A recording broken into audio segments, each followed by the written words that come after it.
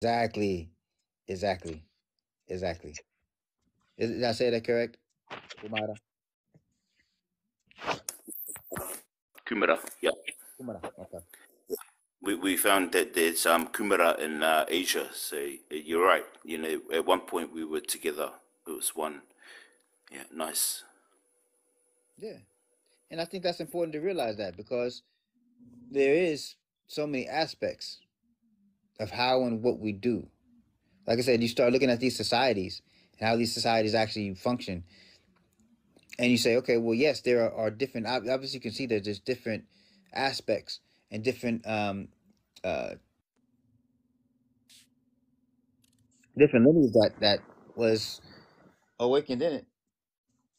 That's a given, right? Because with any, any region, if you go to Papua New Guinea, you'll find more than one, uh, tradition, even though they're on the same island, right? And there's, there's multiple islands, but and then same thing. What you go to the Philippines, there's eight thousand islands. So guess what? You're gonna have things that are gonna be you're, gonna have indigenous people from well, so where my grandma, my, my grandfather was from in Luzon, in uh, like hundred miles away from Manila, in um, uh, Manangpanga, right? So there are traditions that they do that is very close. These are dark skinned people in, in the in the Philippines, mind you, right? The indigenous people of the Philippines. You look at that and you start, wait a minute.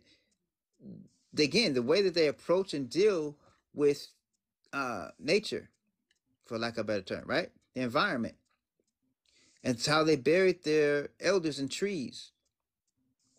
You start to look back at at those those again those in those uh twa uh, little people.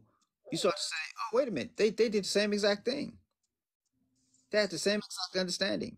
They dealt with these things. There's no place, like I say this over and over again. There's no place on this earth that does not talk about the Bayaka or the Twa or the, you know the little people. You can go to Ireland and see the same thing because it was very dark skinned people in in on Ireland in Ireland that lived in the caves there.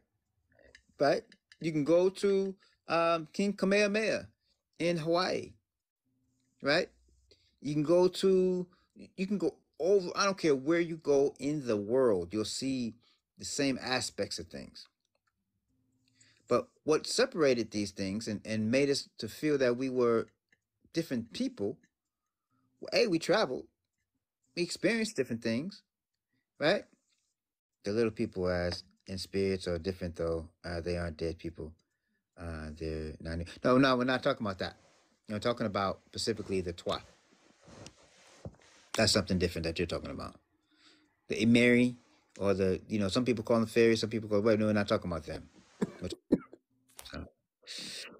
Uh, I'm back on my path and I need more info on how to work better with my OD by being consistent. Yeah. So I would always say, um, the first path to having a deep understanding to your OD, when you're seeking that to have a better understanding of your OD, is to go to a Babalawo and to get a Ifa Agbigba reading because then you can open up that doorway to get clarity. I fed my OD yesterday. Y'all know I saying that was funny. he said, I fed my OD and look outside. that was funny. It's the monsoon. That was funny. Hmm, Got Omi Tutu.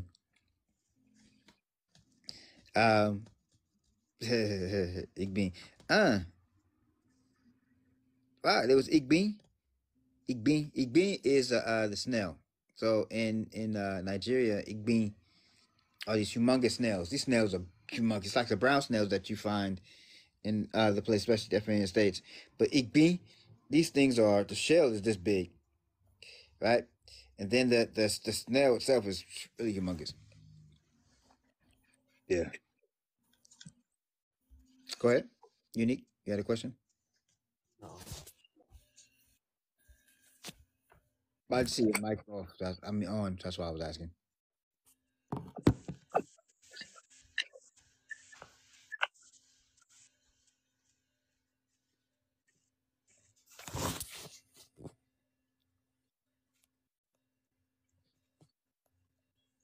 All right, unique.